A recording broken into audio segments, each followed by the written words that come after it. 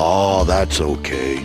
I'm pretty sure there's nothing in the library for a gloomy donkey like me.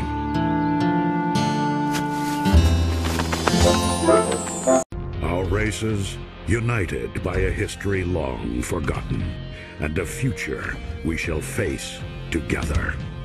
I am Optimus Prime, and I send this message so that our pasts will always be remembered.